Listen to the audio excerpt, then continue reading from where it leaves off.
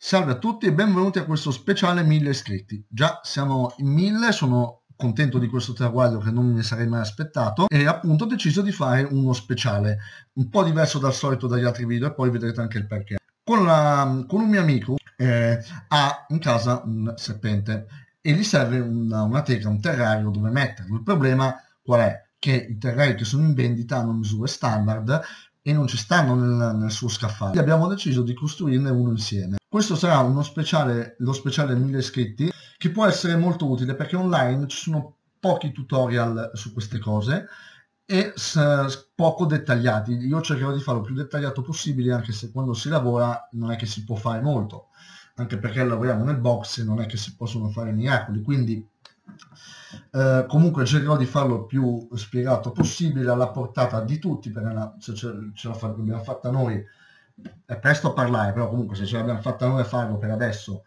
ce la possono fare tutti. Quindi, detto questo, vi ringrazio eh, e godetevi questo video che per chi ha animali di questo tipo può essere molto molto utile. Buona visione!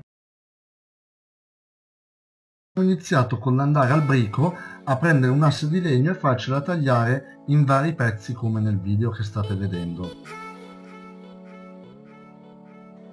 Mettiamo quindi la colla sui lati dei pannelli di legno, consiglio di usare quella che stiamo usando noi, la parte simile chiodi, stando attenti a non sbavarla fuori perché potrebbe essere nociva per l'animale.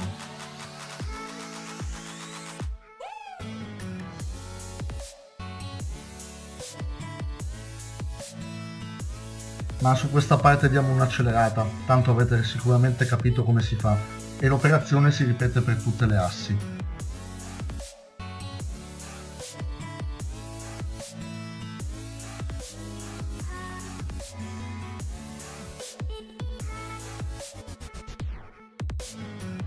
Incolliamo alla base i nostri due lati del rettangolo perché alla fine un rettangolo sarà eh, mettendole dritte ovviamente.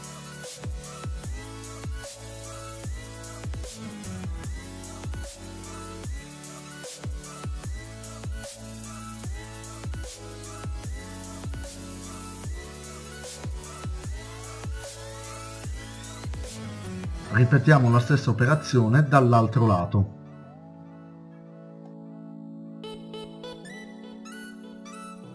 Otterremo quindi un risultato di questo tipo. Con uno straccetto da buttare ovviamente andate a rimuovere i residui di colla all'interno perché potrebbero essere nocivi per l'animale che andrete a metterli dentro. In questo caso c'era un pezzo in eccesso nel pannello di retro del nostro terrario, siamo quindi andati a tagliarlo.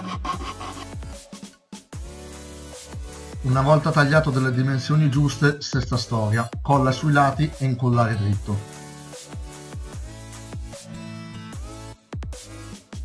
Qui potete vedere il montaggio del retro. Se ci sono spazi dove non c'è la colla, andate a riempirli mettendo la colla su uno stuzzicadente, un chiodino per riempire lo spazio.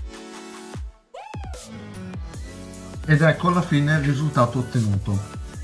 Si lascia asciugare la colla per almeno mezza giornata per poi andare successivamente con delle viti a fissare i pannelli in mezzo.